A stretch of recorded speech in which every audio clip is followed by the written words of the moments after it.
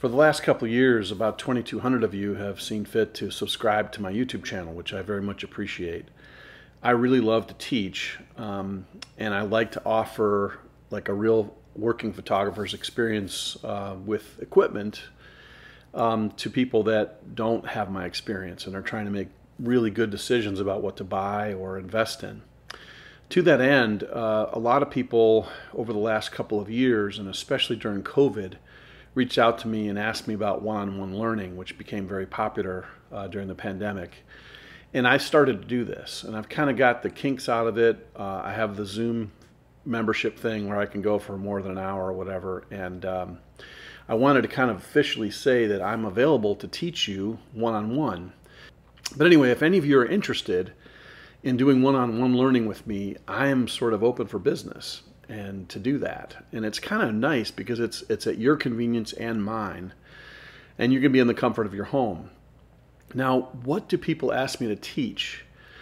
It's really varied. Um, believe it or not, I've actually done some uh, one-on-one Zooms with people working in their studio with lighting and me sitting on the other end of a laptop. And uh, so lighting uh, is something I know a lot about and I've been using it for, man, since 1984 uh, since I started shooting professionally. Um, the area that is the most popular is image um, reviews. So when I say somebody's shooting a lot of soccer, maybe, and they just shoot game after game after game, but they don't really shoot other sports and they're not really sure. They're doing the same thing over and over again. Um, sometimes people will, I'll say, hey, why don't you pick your best 50 soccer pictures and then send them to me by WeTransfer or whatever and then what I do is I put them up on my screen and I share my screen because this way I can see all the data, all the metadata that's built into the file, like what focal length it was, the shutter speed, aperture, the ISO, things like that. Um, in this way, I can look at a really high resolution image on my end. You already know what the picture looks like on your end, and then that works out really well. Some people have been doing portfolio reviews. Um, so some people on the younger side, for instance, if they're college age or maybe out of college a few years, it can be very advantageous to work with a really experienced photographer to try to help you put your book together and get into some um, facsimile where you really feel proud of images and but you know not everybody that shoots well edits well. And so that's another area that people have asked me about.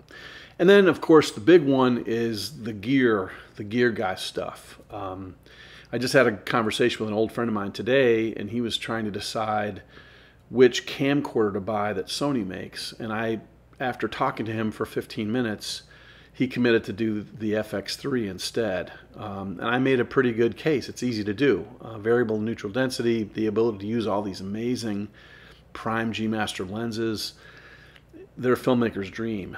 So, um, so anyway, I just wanted to kind of lay that out there people know me as a sports photographer, but my background is photojournalism. So I'm happy to look at essays. If you've got a book project underway, you're looking for some input about that, I'm all for it. This is Pat Murphy Racey, uh, Sony Artisan of Imagery, saying thanks for watching as always. And please, if this is the first time you've seen the video and you like what you see, hit the subscribe button and then the bell next to it. The bell next to it will send you an automatic uh, email every time I post a new video. Thanks for watching.